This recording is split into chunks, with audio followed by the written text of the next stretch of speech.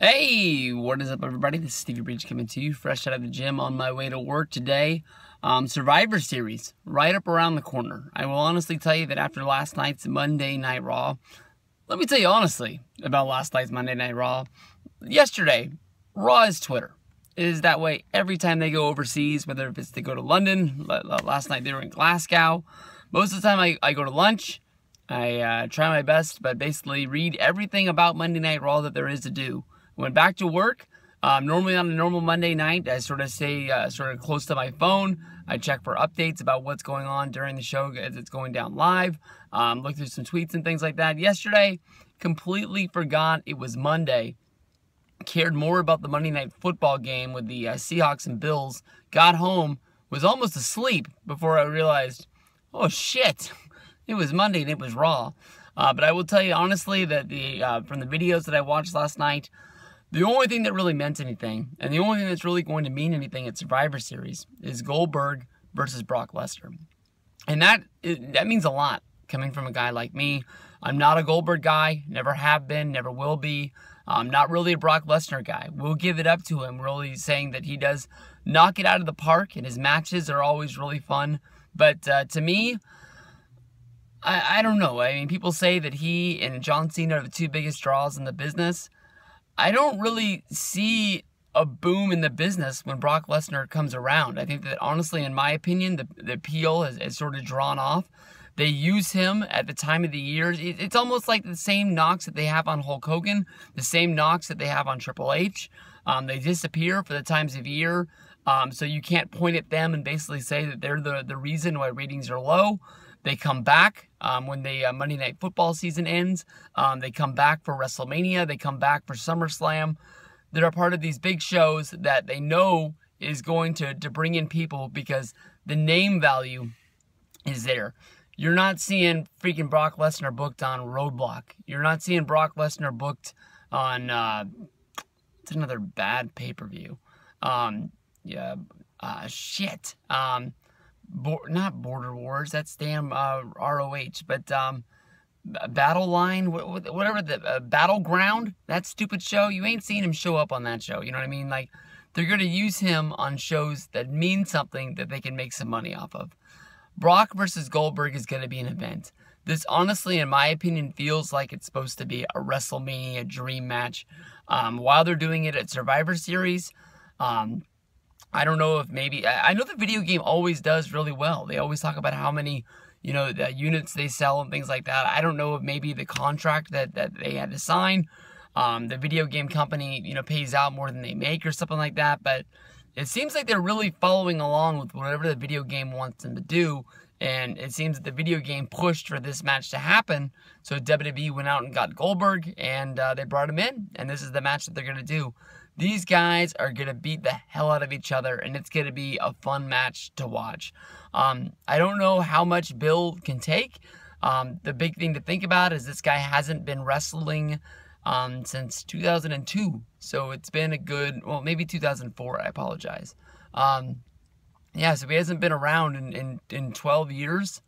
Um, and you know, he's been making carve shows and doing podcasts. I don't even know if that podcast is still around. I, I don't really listen to the Stone Cold Steve Austin podcast as much as I once did.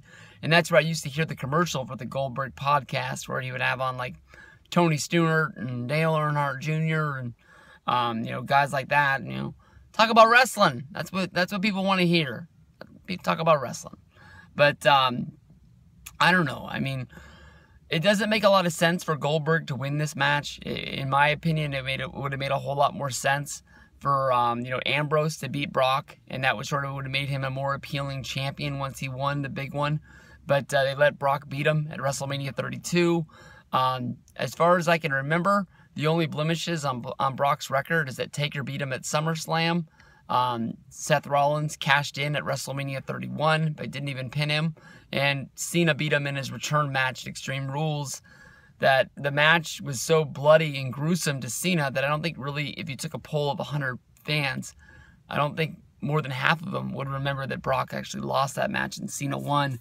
And that was just basically Vince trying to get one over that the uh, wrestlers are tougher than the UFC fighters, um, or at least smarter, I guess you can say. But there was no reason for Cena to win that match. Um, of course, Brock was able to beat Cena at the SummerSlam um, when he tossed him around and gave him, you know, 18 German suplexes and just basically said, "This is my championship now. I'm going to take it." Um, it's going to be a fun match. I can definitely tell you that I'm excited for it. Um, the wrestling fan that I am now, that I care more about the backstage business than I do about the in the ring, sort of like being a guy who listens to a lot of podcasts and things like that. I mean, definitely it doesn't make sense for Goldberg to win. Um, Brock to continue on with the streak that he's been running, uh, where he hasn't lost in all these years. Oh, I fucking forgot. Triple H beat him at WrestleMania. Fuck. Bad match, too. Uh, that's my guy. That's my guy right there. That's that guy that I live long and support. That every time somebody throws something out there to knock him, I try to pick him up. He doesn't really have the negative impact that he used that he used to have. People, you know, because of what he's done with NXT and things like that, people have sort of turned it around for Triple H, and he doesn't really get knocked on like the message boards and on YouTube and um, by the wrestling fan as much because people see that he's turning the corner and he's now becoming that businessman and I think people believe that when he gets the leash, it's going to be better than it is right now with uh, with ancient old Vince McMahon behind the helm. But um, we'll have to see.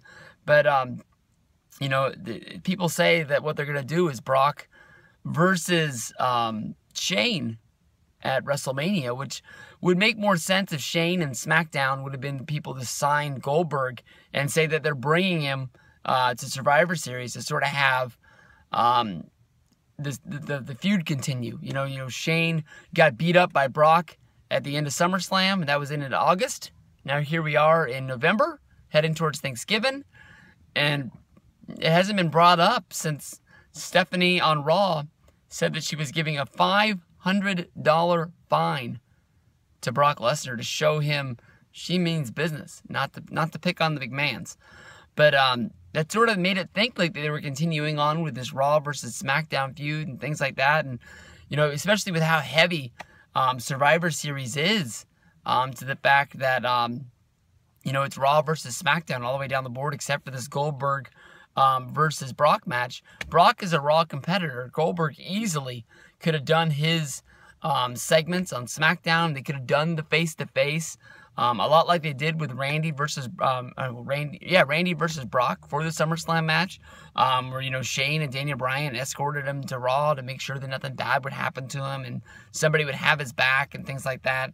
Um, it would have made it a lot better, and it would have made the SmackDown versus Raw feud seem a whole lot more too. And especially, you know, you could have had Shane there at ringside and had him take another German suplex um, and continue on that view to make think that they are going that direction. Because once they pick it up again, it's going to be hard for the, uh, you know, sort of, I just watched the pay per view wrestling fan to, to pick up on it. Like, oh, yeah, at SummerSlam, Brock kicked his ass. So we'll see. It's going to be a big one. Here we are, a couple more weeks out. I know they're doing Raw face to face on um, on Monday Night Raw.